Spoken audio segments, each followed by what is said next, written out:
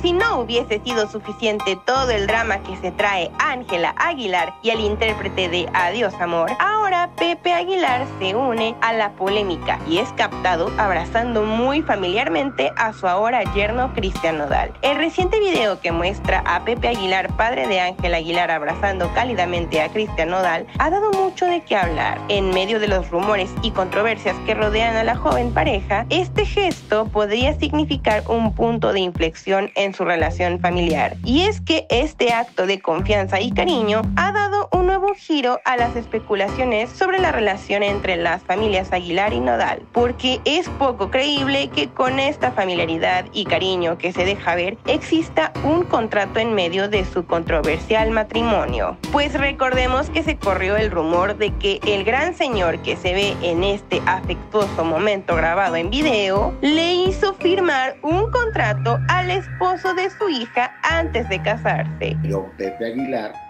hizo un contrato prenupcial. El motivo, que Nodal no le sea infiel a Ángela durante al menos tres años, pues de lo contrario debía pagar una suma de 12 millones de dólares. Así como lo oyes, Nodal perdería mucho dinero si regresa a las andadas. Y es que todos vimos lo majestuoso que fue el matrimonio entre Cristian Nodal y Ángela Aguilar. De hecho, ha sido el evento más comentado del año, y es que fue realizado en una majestuosa hacienda en Cuernavaca, Morelos, y su unión ha generado todo tipo de especulaciones. ¿Verdad que parece una boda de ensueño? Y es que aquí nadie fue obligado, ¿o sí?